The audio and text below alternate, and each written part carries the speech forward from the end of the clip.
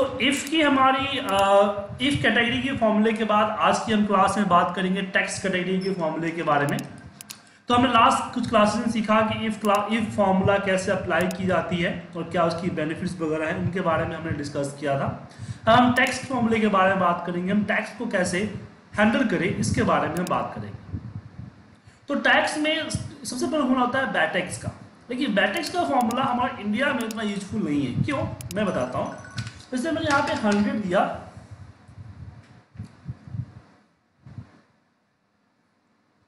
तो और इस हंड्रेड को मैं यहाँ पे बैटेक्स फॉर्मूला में लगाता हूँ। ये रिज़ल्ट आता है। तो क्या है? अब इसके बारे में जानिए कि क्या है।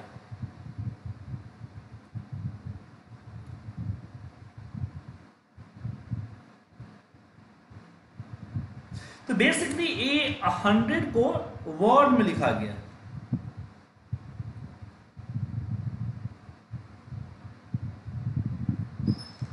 कैसे पता करोगे? तो इसके लिए आप, अगर आप गूगल में जाएँ ट्रांसलेटर गूगल ट्रांसलेटर जो होता है, उसके देखेंगे तो आपको पता चल जाएगा। ये क्या करता है कि अमाउंट को वर्ड में नंबर को वर्ड में कन्वर्ट करता है बट बाथ लैंग्वेज में मतलब कि थाई लैंग्वेज में। देखा है आपको translate from Thai Thai to English हम कर रहे हैं।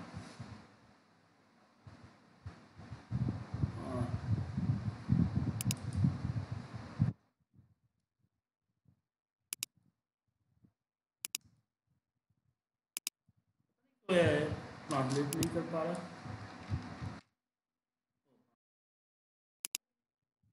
डिटेक्ट लैंग्वेज हमने कर दिया, यहाँ पे थाई आ रहा है। और यहाँ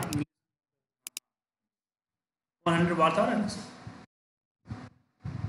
तो ये हमने इसमें किया बट इसको इंग्लिश लैंग्वेज में करने के लिए कोई ऐसा ऑप्शन समझे? देखिए हाँ वीवीए मैक्रो प्रोग्रामिंग की मदद से हम कर सकते हैं तो कर सकते हैं। हम आगे सिखाएँगे आपको। दूसरा फॉर्मूला हमारे पास आता है कैर क्लीन कोड वगैरह होता है तो चलिए हम कैर कोड फॉर्मूले को पढ़ते हैं। जैसे हमने कोई कैरेक्टर लिखा तो उसका एक कोड होता है। हेलो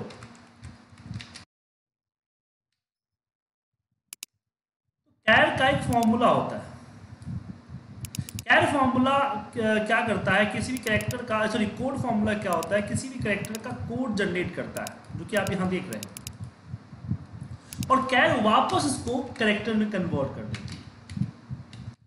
एक्सेल में क्या होता है कि हर नंबर का एक स्काई वैल्यू होता है और उस स्काई वैल्यू से वापस में कोड में कन्वर्ट किया जा सकता है। अब इसका यूज़ क्या है? हम आपको अभी थोड़ी देर में समझाते हैं। उससे पहले हम बात करते हैं ट्रीम और क्लीन के बारे में। जी, क्या होता है कभी कभी हम हमारे पास डेटा होता है जिसमें अनवांटेड स्पेस होता है। जैसे बीच में हुआ या शुरू में होता है, जैसे यहाँ पे सुजीत लिख दिया। और हो सकता है कि लास्ट में होता है। ऐसे अनवांटेड स्पेस होता है। तो ऐसे अनवांटेड स्पेस को रिमूव करने के लिए हम क्रीम का यूज़ करते हैं। ध्यान रखिएगा क्रीम अनवांटेड स्पेस को रिमूव करता है। स्पेस को रिमूव नहीं करता अनवांटेड स्पेस को रिमूव करता है। इसका देख रहे हैं कि यहाँ पे सुजीत और के के बीच में यहाँ पे कई सारे स्पेसेस थे, लेकिन इसको रिमूव करके एक स्पेस यहाँ पे रख दिया है।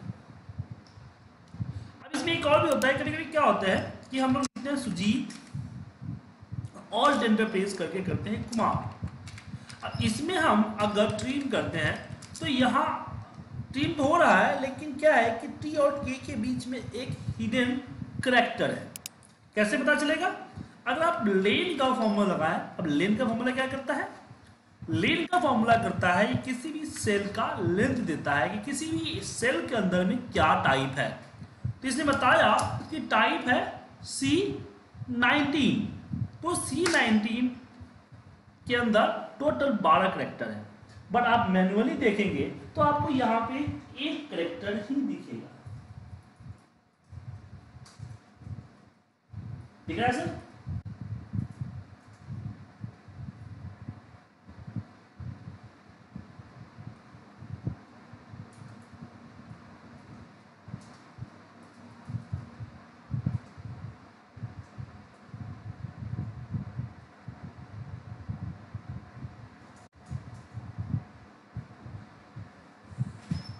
तो यहाँ पे क्या हुआ कि अभी तो ऑफ़िस टेन है ना? अगर आपके पास एक्सपी होता तो देखते आप टी और के के बीच में एक बॉक्स के अंदर क्वेश्चन मार्क लगा होता। ये बोलते हैं नन प्रिंटेबल करेक्टर ऐसे करेक्टर जो विजुअल नहीं होते बट वो होते हैं।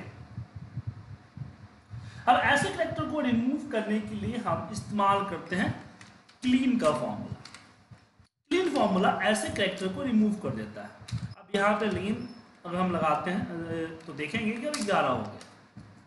तो करेक्टर को इसने रिमूव कर दिया।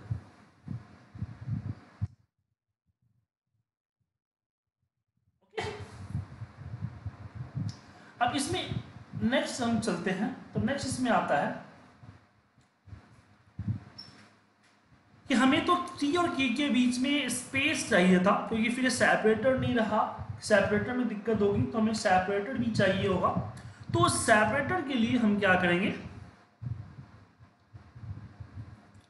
हमें इस पहले इस चीज़ को जानना होगा कि किसी भी करेक्टर में, किसी भी करेक्टर को अनदर करेक्टर से रिप्लेस कैसे जैसे मैं यहाँ पे जो नन प्रिंटेबल करेक्टर है, जो हिडन करेक्टर है, उसको हमें रिमूव करना है।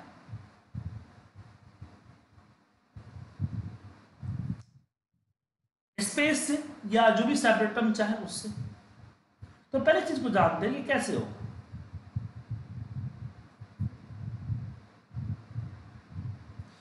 उसके लिए हम क्या करेंगे? यहाँ पे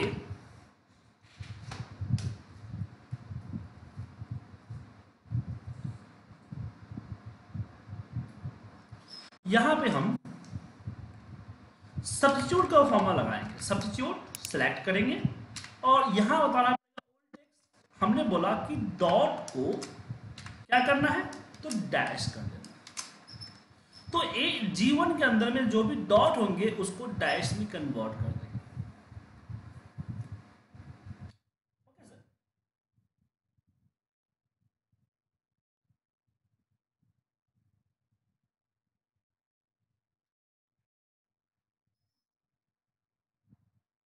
अब यहाँ पे बात आती है कि इसमें और क्या क्या हो सकता है?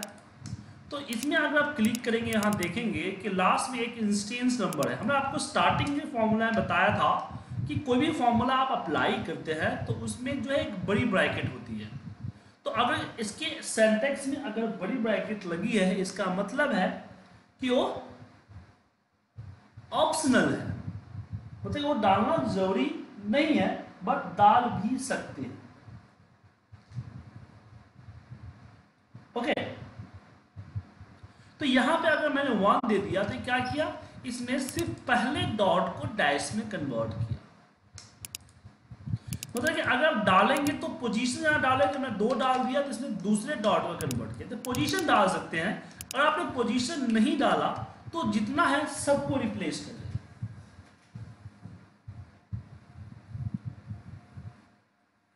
क्लियर है सर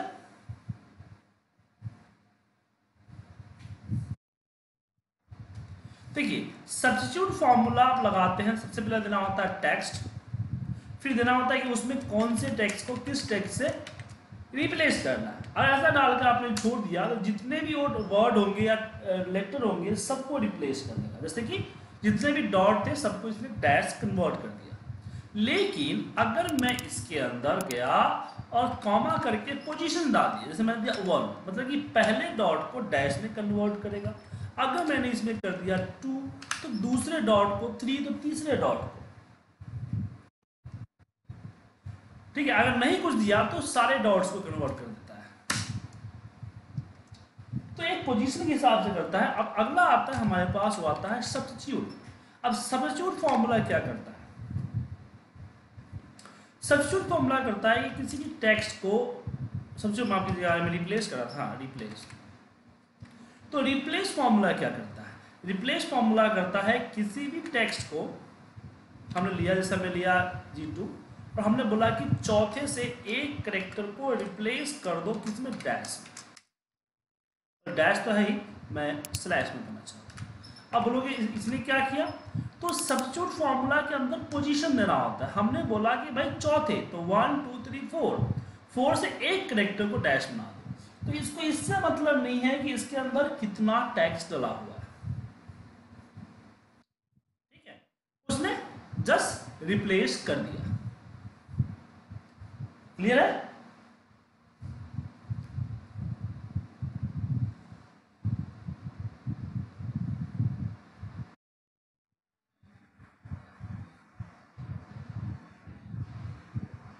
हाँ। ठीक है? तो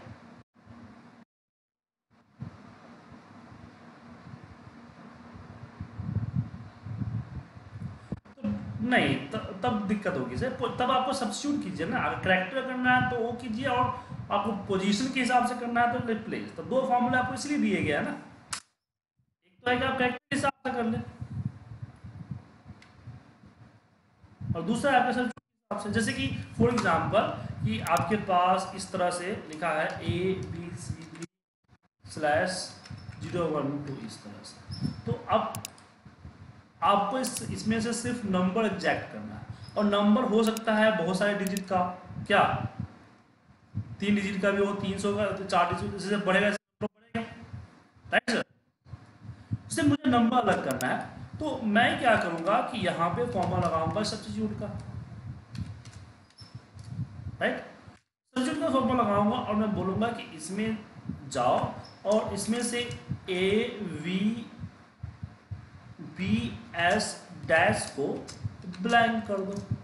क्या? एक हमने कब किया जब हमारे पास फिक्स है? लेकिन ऐसा भी हो सकता है कि यहाँ पे कुछ और डाला हो, जैसे यहाँ पे डी एल आई एस लिखा हो। क्या? यहाँ पे आप, यहाँ पे आपको लिखा हो यहाँ पे लिखा हो B R zero six right यहाँ पे सब्सिट्यूट फॉर्मूला नहीं चलेगा ना? तो सब्सिट्यूट फॉर्मूला तो फिक्स के लिए है। बट यहाँ पे आपने देखा कि आपका पोजीशन फिक्स है कि चार लेटर और एक डैश तो यहाँ पे हम रिप्लेस लगाएँगे कि रिप्लेस और रिप्लेस में हम इसको सेलेक्ट करेंगे और हम बोलेंगे कि एक से लेके पाँच करेक्टर को ब्लैंक कर दो। हो गया? तो रिप्लेस को इससे मतलब नहीं है कि लेटर क्या है। बस इसको पहले से लेके पाँच काउंट करके रिप्लेस कर देना समझ- आ गया आपको कि कैसे यूज़ करेंगे? Back to topic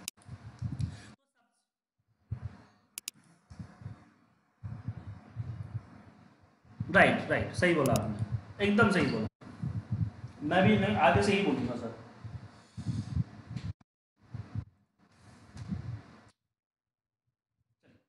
अब हम बात करते हैं यहाँ पे कैसे करें? क्योंकि यहाँ पे हम सब्सिट्यूट का फॉर्मूला लगाए, क्योंकि कंटेंट के हिसाब से चलना है। अब मैं यहाँ पे, अब ऑल इंटर तो नहीं लिख सकता ना, सर। क्या? क्योंकि ये जो सुजीत और कुमार के बीच में जो गैप है, वो तो हमने ऑल इंटर से किया था। वो किसी भी लेटर में कर सकते हैं, जैसे ये हमने यहाँ पे ऑल इंटर किया, और कर सकते हैं। बट फॉर्मूला में ऑल इंटर तो ही लिखेंगे हम। तो वहाँ पे हमें एक कैर एंड कोड का फॉर्मूला सपोर्ट करेगा। जैसे कि हम किसी एक सेल में, किसी भी एक सेल में जाएँगे ऑल एंटर पेस्ट कर देंगे। और फिर हम इसका कोड पता करेंगे, इसका कोड क्या है स्काई वैल्यू में। तो पता चला दस कोड है। मतलब कि अगर मैं कैर के अंदर में वन ज़ीरो लिखूं तो ये दोनों बराबर होंगे। राइट सर तो यहाँ हम सब्सिट्यूट का फॉर्मूला अप्लाई करेंगे सेलेक्ट करेंगे नेम को, और यहाँ देंगे कैर वन ज़ीरो और इसमें हम देंगे रिप्लेस विथ स्पेस और एंटर मारेंगे तो आपके सामने आ जाएगा। समझ में आ गया?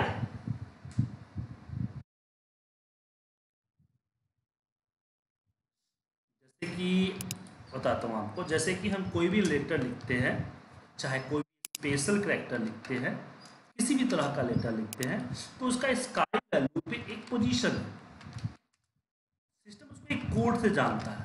वो कोड फॉर्मूला हमें बता देता है कि भाई, इसका एक कोड है, इसका एक कोड है, इसका एक कोड है। जैसे हमने बताया कि ए का कोड 65 है डैश का कोड 45 है हैश का कोड 35 है। ऐसे ही रैप टेक्स का कोड जो ऑल टेंटर हमने प्लेस किया, इसका कोड 10 है। समझ गए? और हमारे पास एक कैर का फॉर्मूला है जो इस कोड को वापस करेक्टर में कन्वर्ट करता है। मतलब कि अगर मैं यहाँ पे कैर के अंदर 65 डाल दूँ तो आपको यहाँ पे ए शो कर जाएगा। तो हमें, क्योंकि हम फॉर्मूले में डायरेक्ट उस वर्ड करेक्टर को टाइप नहीं कर सकते। तो वहाँ पे हम, हमने कैर फॉर्मूला के अंदर में उसका कोड टेन डाल दिया, जो कि हमने यहाँ से कैर कोड फॉर्मूले से हमें टेन पता चल गया है।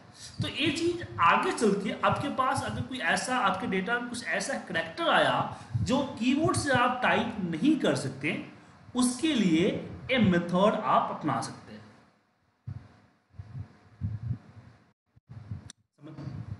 सबको समझ में आ गया?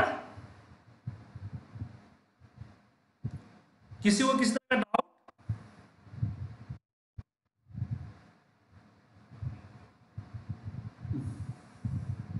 सर, लग रहा क्लास में नहीं है तो कहीं और सोच रहे हैं आप कुछ। वेट कीजिए, रामायण आने में भी एक घंटे का, आधे घंटे का टाइम है।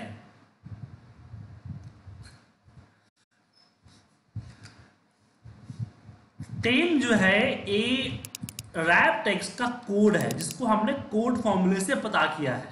जो भी लेटर आप टाइप करते हैं हर लेटर का एक्सल के अंदर में एक कोड होता है उसको स्काई वैल्यू बोलते हैं। अमेरिकन स्टैंडर्ड इंटीजेटेड लैंग्वेज करके उसका फुल फॉर्म होता है। एक, एक चार्ट है जिसमें हर लेटर के लिए एक नंबर डेडिकेट किया है ताकि एक्सल ये पता कर पाता है कि कौन सा कैप्स लेटर है और कौन सा स्मॉल लेटर है। इसी कोड की मदद से पता करता है। अगर आप कैप्स को करेंगे तो कोई और आएगा और स्मॉल को करेंगे तो कुछ और नंबर आएगा। तो हर लेटर जो कीबोर्ड में आप टाइप कर सकते हैं जो भी करेक्टर इस एक्सेल में टाइप होता है एज ए करेक्टर सबका एक कोड एक्सेल में डिफाइंड है। और सिर्फ़ एक्सेल ही नहीं, आपके सी जावा जितने भी प्रोग्रामिंग लैंग्वेजेस हैं, सब में एप्लीकेबल होता है। तो हाँ हाँ। दूसरी चीज़ है कि क्या बात, क्या है कि जो हम ए, जो क्रैप के टाइप करते हैं, वो किसी शॉर्टकट से करते हैं। किसी की नहीं है हमारे पास उसका कोई। जैसे कि ए बी सी डी है तो हम इन्वर्टर को वहाँ ए लिख देंगे इस तरह से। इस तरह से लिख देंगे। बट रैप टैक्स को तो नहीं लिख सकते ना हम। इसलिए हमने रैप टैक्स को एक सेल पे प्रेस करके पता कर लिया कि रैप टैक्स है, उसका कोड हमने पता कर लिया। अब इस कोड को अगर हम कैर फॉर्मूला में डालेंगे तो सेम आएगा। सेम चीज़ हमने यहाँ सब्सिट्यूट में किया कि सी नाइनटीन कैट टेन और फिर हमने बोला इसको स्पेस से रिप्लेस कर क्योंकि मैं यहाँ पे इस तरह से टाइप नहीं कर सकता ना तो गलत हो जाएगा ना फॉर्मूला सर और समझ में आया? ठीक है सर मुझे लगा कि रामायण देखने के बाद ही समझ में आएगी आपको।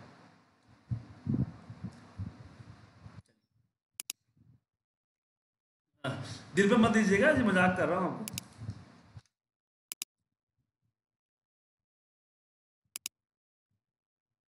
बोला, दिल पे मत लीजिएगा, ऐसे ही मज़ाक कर रहा हूँ।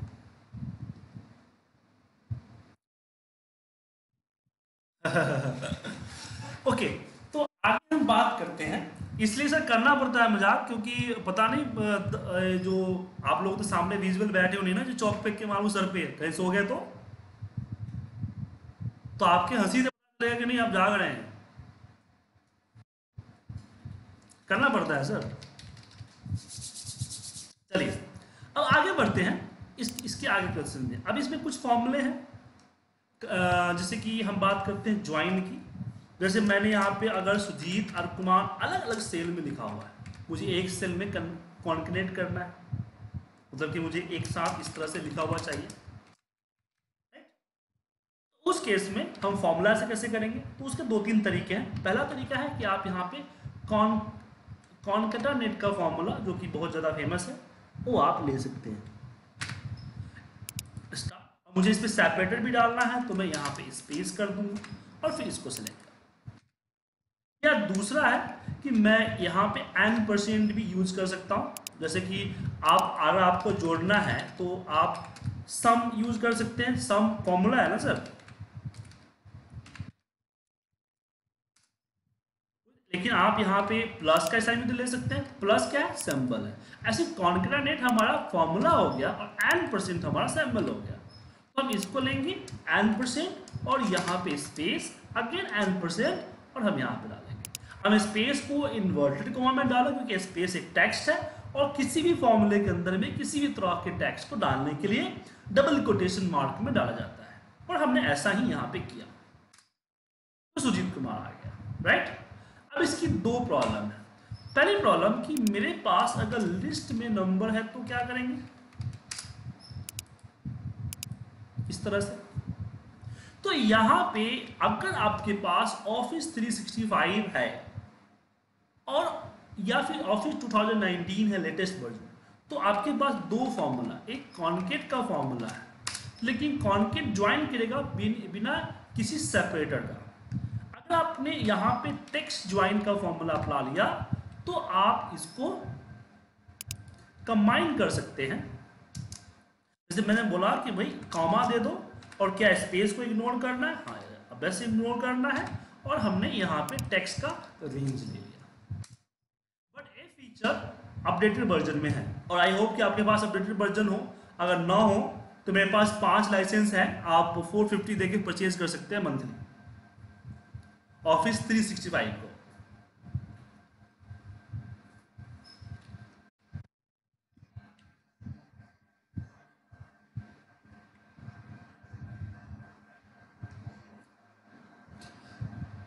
अब सब बात तो ठीक है, लेकिन सब चीज़ एक ही चीज़ सीख लोगे तो खिचड़ी नहीं हो जाएगा। कल क्या पढ़ाऊँगा मैं? फिर कल क्या पढ़ाऊँगा? मज़ाक और सेपरेशन का पार्ट है, वो आगे क्लासेस में आएगी। क्या सर?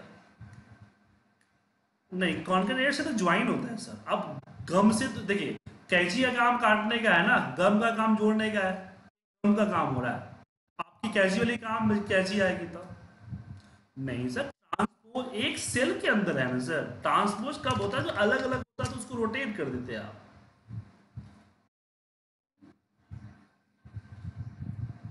वो सेपरेशन सेपरेशन का पार्ट है वो सेपरेशन का पार्ट में पढ़ाऊँगा ठीक है? गम वाली पार्ट समझ लीजिए, कैची वाले पार्ट बाद में। गम में भी बहुत सारे प्रॉब्लम है। जैसे कि अभी ये प्रॉब्लम है कि आपके पास ऑफ़िस लेटेस्ट ऑफ़िस होगा, तभी तो इसका यूज़ करोगे। उसके बाद नहीं होगा तो फिर दिक्कत हो जाएगी। एक एक करना काफ़ी ज़्यादा प्रॉब्लम क्रिएट करेगा।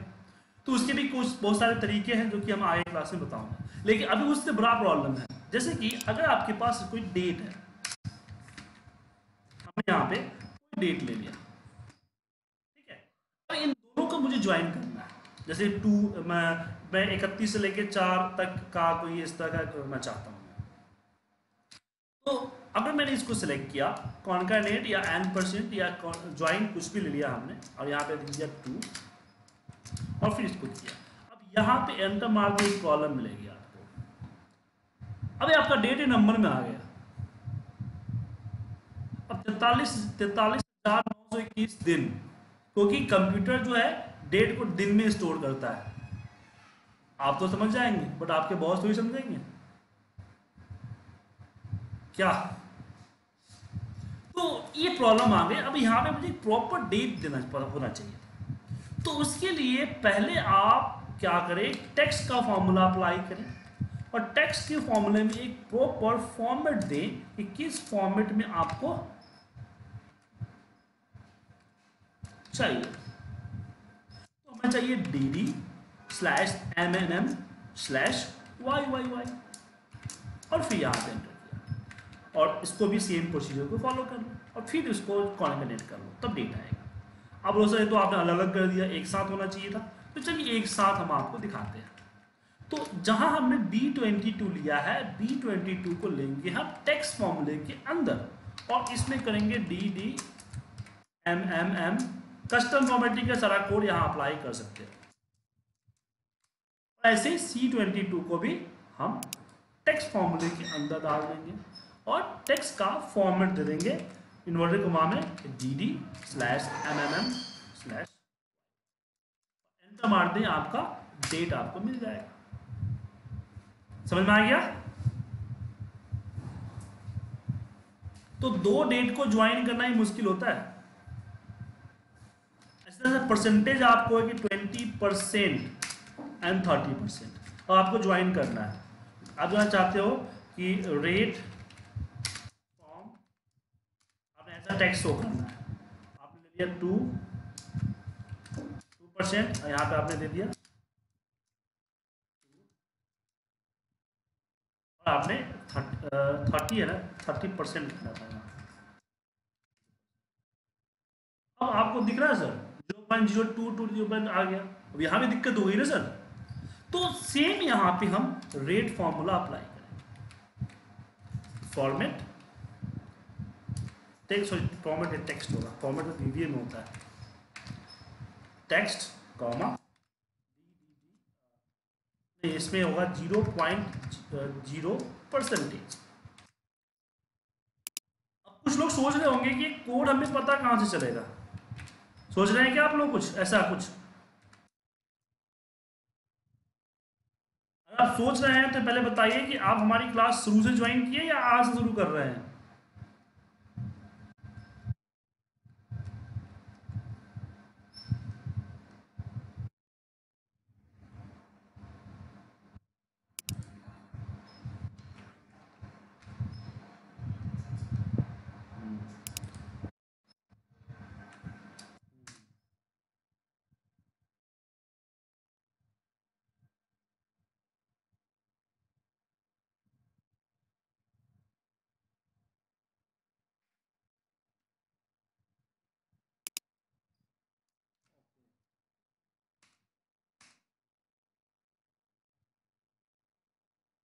कंट्रोल डी या कंट्रोल डी या कंट्रोल सी कंट्रोल डी कर लीजिए सिलेक्ट करके कंट्रोल डी